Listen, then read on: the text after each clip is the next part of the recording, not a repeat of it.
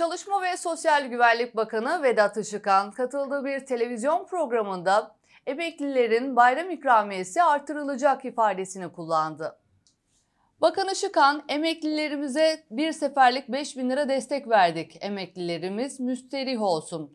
Cumhurbaşkanı Yardımcısı Cevdet Yılmaz ve Hazine ve Maliye Bakanı Mehmet Şimşek'le gerekli değerlendirmeleri yaparak gerekli çalışmaları yaparız ve adımları atarız. Emeklilerin talebi var, bu adımı atmaya hazırız dedi. Ocak ayından itibaren aylıkları eşitledik.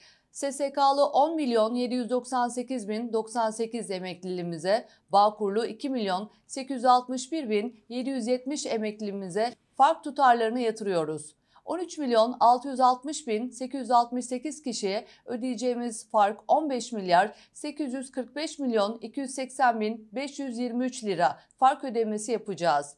EYT kapsamındaki düzenlemeden faydalanan kişi sayısı yaklaşık 2 milyon 950 bin EYT emeklisi vatandaş tekrar çalışma hayatına döndü. EYT'de süreç devam ediyor. 2024 yılının sonunda emekli sayısının 16 milyon 400 olacağını tahmin ediyoruz. Emekliler yılı kapsamında faaliyetler çeşitlenerek artacak. Emeklilerimizin refahını etkileyen unsurları gidereceğiz. Emeklilerimize birçok hizmette ayrıcalık vereceğiz dedi.